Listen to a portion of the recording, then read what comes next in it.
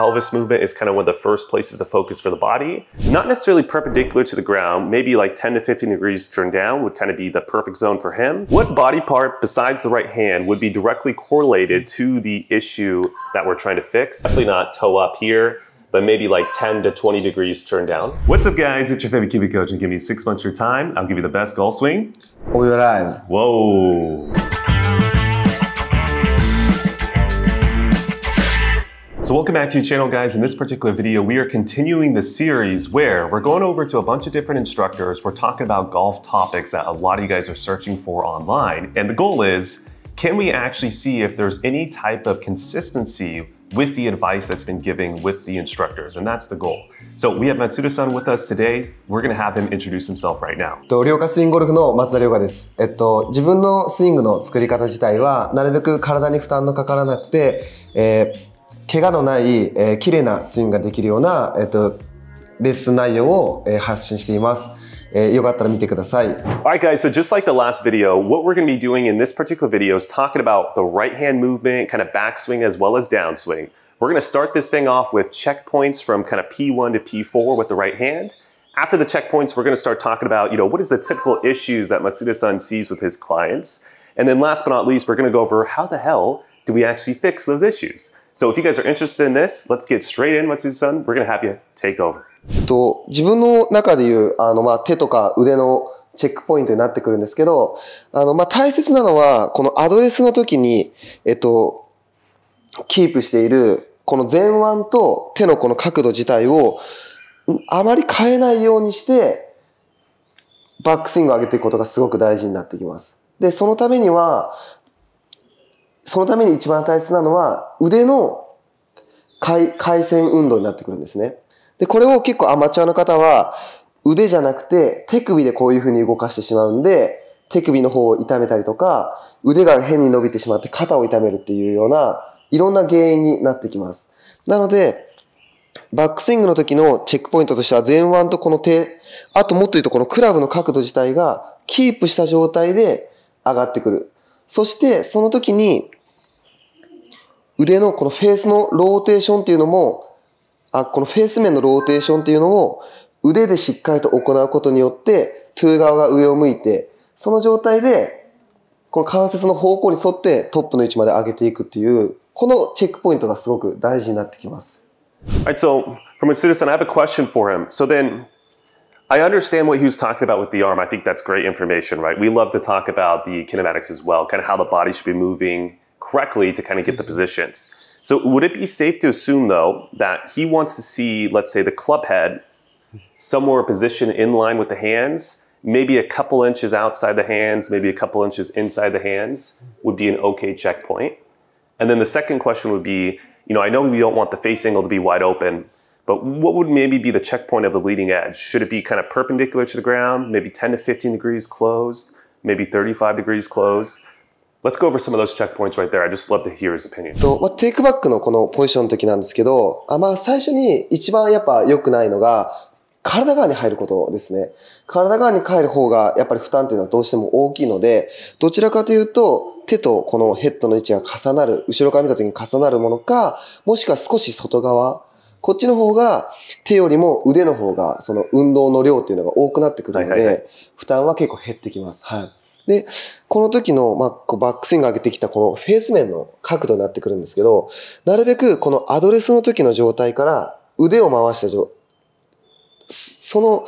腕を回してこの一つの動きだけで、あとは、あの、特にここで手首をこういうふうにこねるっていうのは、あまり意識しない方がいいです。ここのフェース面の角度はだいたいこのアドレスのこの構えの状態の角度で、そのまま腕の回旋運動でこう決まってくるっていうのが、あの、一番こう、理想的な動きになってくるかなとは Okay. So Oh, sorry. fair enough to say for the face angle then, Kazuki, like definitely not toe up here, but maybe like 10 to 20 degrees turned down. どっちかっていうとこっち側っていう感じですあ、そうですね。は I い need。you. All right, so at the top of the swing, I think I have three questions for Masuda-san. So the first one, you know, the right hand has a huge influence on the shaft position at the top. So I just want to know the basic checkpoints that he likes to see, you know, his preference. So does he like to see the shaft a little bit more laid off in this position, Maybe even flatter like this, maybe a little bit more perpendicular or maybe even crossed? First question. Second question I want to know is with the wrist, you know, obviously the left hand, we can make it, put it on the club to make this look easier. Is he like flexion at the top? Does he like extension or a flat?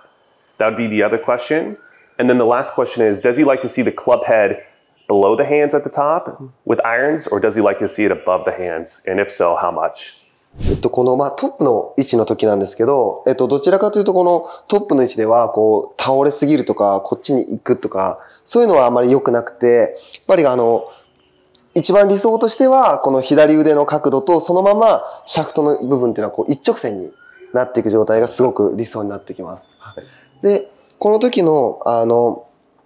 手首のこういう角度になってくるんですけど、僕はあまりこう、小屈背屈っていうのはそこまでお勧めしてなくて、どちらかというとこの頭屈ってこっち側に折る動き、こっちの動きの状態が作れると一番ベストです。で、この手首の角度も、この最初のこの構えた状態のここの角度っていうのをなるべくキープした状態で上げていけると、一番その次の切り返しの動きがスムーズに行えるので、こういう力っていうのはあまりこう使わないようには一応してます。で、その時の、えーっと、次にこのトップの、えーっと、ヘッドのこの位置になってくるんですけど、このまあヘッドの位置自体っていうのは、なるべく体全体が結構アマチュアな方ってこうぐーっと倒れてしまって奥にこう行くっていうのがすごく多いんで、ヘッドのこの位置の角度っていうのは、この最初のアドレスのこの角度の状態をキープしたポジションっていうのが一番こう理想的になってくるので、大体7番アイアンでこう頭の上ぐらいにこうヘッドの位置があるとすごくあの次の切り返しとかもやっぱやりやすくなってくるかなとは思います。はい。All right, so quick review of the checkpoints before we move on with this video. So the first one is going to be in the takeaway section. So we want to see the club head. It appears to be somewhere really close to hands, maybe a little bit behind or in front. I think would be okay zone. If you start to get maybe around here, I'm assuming Matsuda-san would say also not okay zone. Face angle wise, uh, not necessarily perpendicular to the ground, maybe like 10 to 15 degrees turned down would kind of be the perfect zone for him. I'm assuming maybe somewhere right around here, probably way too much as well, and then somewhere right around here, way too open. Top the swing, it appears he wants to see the shaft matching the lead arm, which is actually identical to our checkpoint, so I like that. And then from there, um, club head height, we don't want to see below the hands, he likes to see it slightly above. And then last but not least, I believe, um, I could be wrong here actually because I didn't get this translated to myself, but I believe he wants the wrist relatively flat at the top of the swing. And those would be the checkpoints. まあ、バックスイングの方で一番やっぱ多いお客さんっていうのは、まあ、最初にこう極端にクラブがインサイドにこう行ってしまう状態。で、そのままこう体を無理やりこう正面に残そうとしてしまって、ぐーっとこう伸び上がってしまって、こう、オーバースイングになったりとか、あ、そうそうそうそう。こう体全体が倒れながら上がってしまうんで、まあ、このポジションに来てしまうと切り返して絶対にこう、やっぱ上がってしまうっていうのが多いので、あの、すごくこの手首の使う量であったりとか、こう体がこう最終的に伸び上がるっていう風に。で、その手首をこう変に使ってしまうんで、右手が毎回定まらないっていうのはすごく多いですね。で、それでこうトップの位置が毎回バラバラっていう方はかなり多く見えます。はい。で、まあ、あの、もう一つき、あの、多いお客さんで言うと、その、まあ、この、こういう風に、極端にこうヘッドが上に上がってしまう方はすごく多いですね。で、そうなると結構フェースとフェースがすごくこう閉じてしまってくるので、で、このフェースを閉じた状態でぐっとこう上に上げてしまう方はものすごく多いですね。で、そうなってくるとこう、肘自体もこう、しっかりとローテーションがない状態で、脇が開いたまんまこうバックスイングをしてしまう方っていうのはすごく多いです。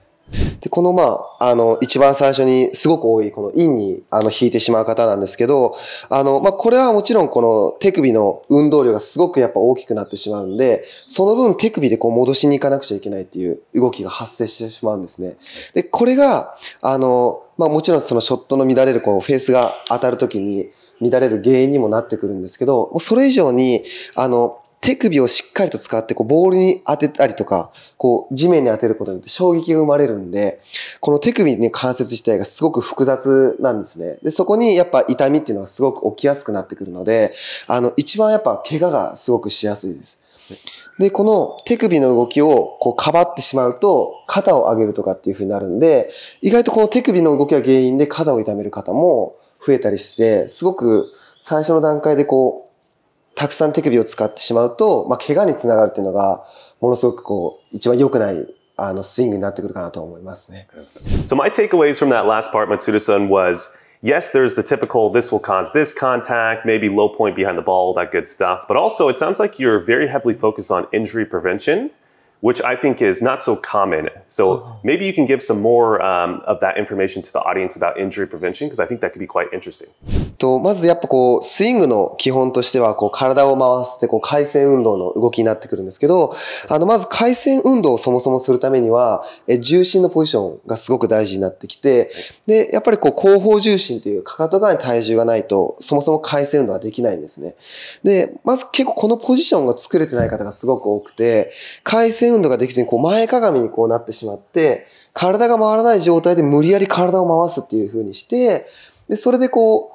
かあの、関節面に沿った動きができてない状態で、クラブに対してこう、無理やりスイングを、あの、クラブを持って無理やりスイングをしてしまうんで、やっぱ怪我が増えてくるので、まず最初に大事なのは、あの、やっぱアドレスですね。ちゃんとアドレスでしっかりとこの後方重心を作っておくことがすごく大事になってきます。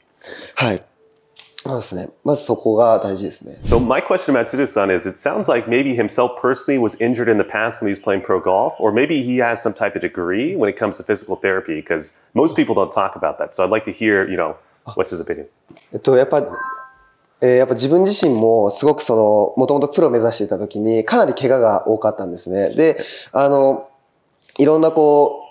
あの、プロの方とか、そまたまたあの、この普通のアマチュアの方でも、ゴルフやる方ってすごく怪我がものすごく多くて、結局、いい練習とか、その、いい、あの、動きをしていても、あの、怪我を、あの、そう体に対する知識がないくて、で、それがいい動きなのか間違った動きなのかを判断できずに、こう自分でやっていって怪我するって方がすごく多かったんで、まずそもそも、あの、ある程度こう体の機能と構造に沿った状態のスイングを身につけておいて、そこから、こう、プラスアルファで、どんどんこう、違った今のスイングとかを、あの、いろんな理論が出てくるので、取り入れていければ、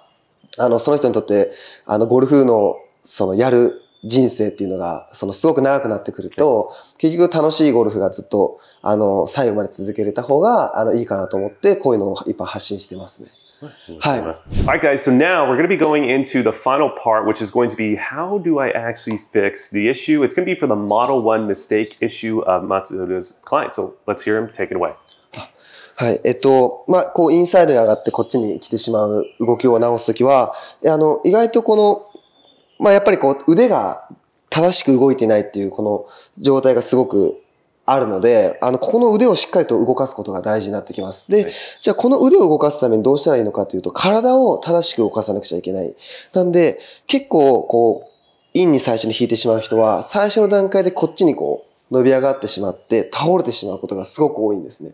なんで、あの、バックスイングの時には、右側にしっかりとこう、側屈を入れておいて、右肩を若干下げながら、こう、バックスイングをするようにしていきます。そうすることによって、極端にこう、インサイドに入ることっていうのは防げてくるので、で、その時に、あの、こうすると体が伸び上がって、このバックスイング上げるときに、すごい伸び上がった動きになってしまうんですけど、右脇を締めることによって、この辺に懐がしっかりと作れるので、手を余分に動かさなくても、大きいこの腕であったりとか、肩を正しく使ってバックスイング上げることができれば、特にこう、こういう動きとは逆の動きになってくれるので、でそういうふうにこう体のあの大きいパーツを正しく動かすようにあの直していっていますね。Right. はい。Okay, so for this Model 1 player, we know kind of the club head's getting inside. We kind of know the issues at the top, the swing. You know, what body part, you know, obviously there are videos about the right hand, so maybe that might be one of the body parts, but what body part besides the right hand would be directly correlated to the issue that we're trying to fix, as well as to maybe the feeling we need to feel to fix? と、まあ、一番こう大事にする場所としては、あの、まずこの上半身の動きですね。上半身の動き自体で意識するポジションとしては、この右の脇、この部分をなるべく縮めながら、逆にこっちを伸ばしながらこう、バックスイングをしていくっていうのが、まずすごく大事になってきます。一番もう、あの、意識するパーツは、あの、手首とかをこう、まあもちろんキープするのも大事なんですけど、その前段階としてはまず体ですね。上半身が正しく動くっていうのがすごく大事になってくるので、まずそこを意識していきます。で、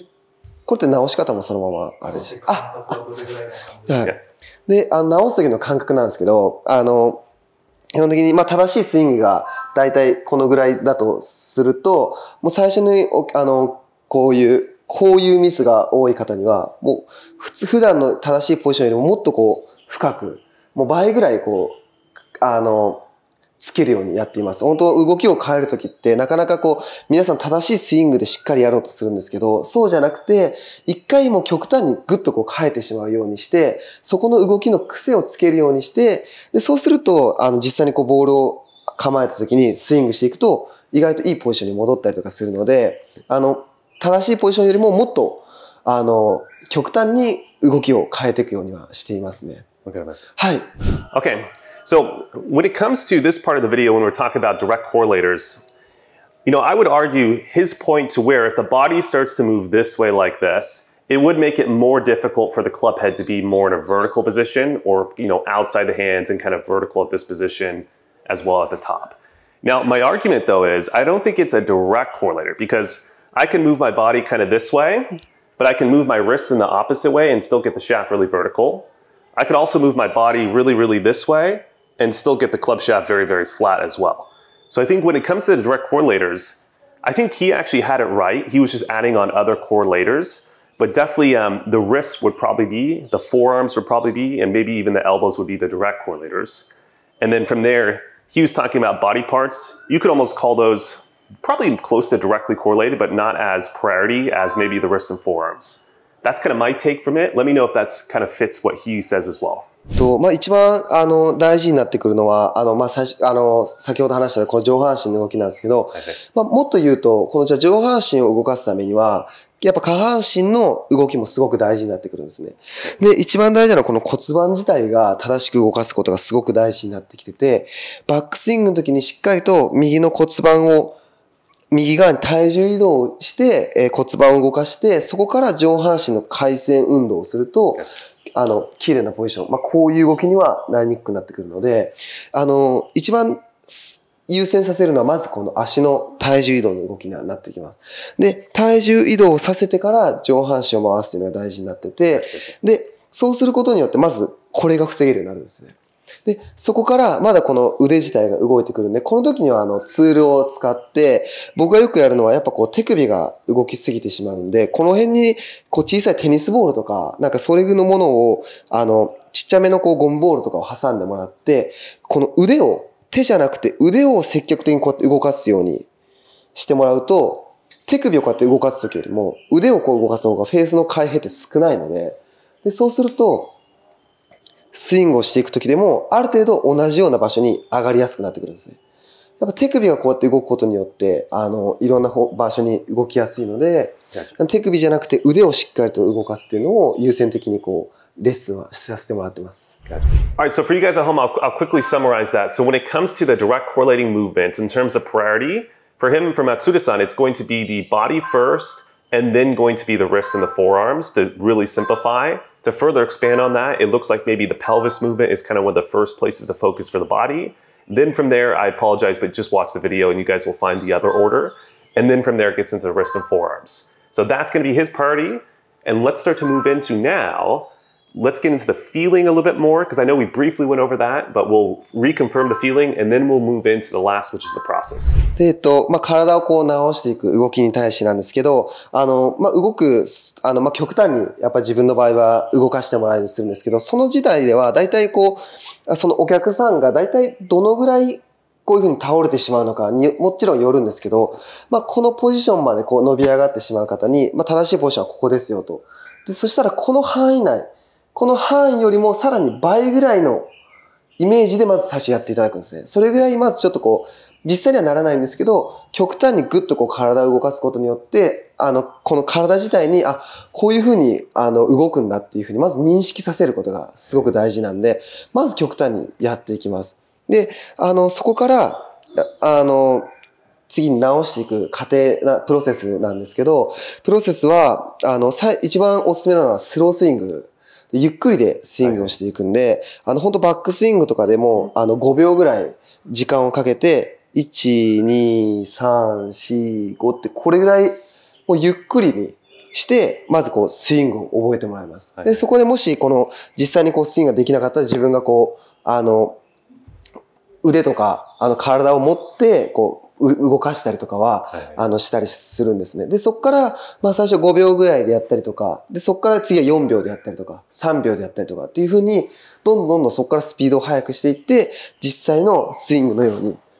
じ実際のスイングのスピードでもできるようにしていくっていうのが、あの、その過程になってきます。So for Matsuda-san, it sounds like very similar to what we like to say as well, right? Slow to fast. There's some type of process in there. But what if your clients are kind of going through that and they're like, I don't know if it feels right or not. You know, I can't really get the correct feeling. How do you make them actually check?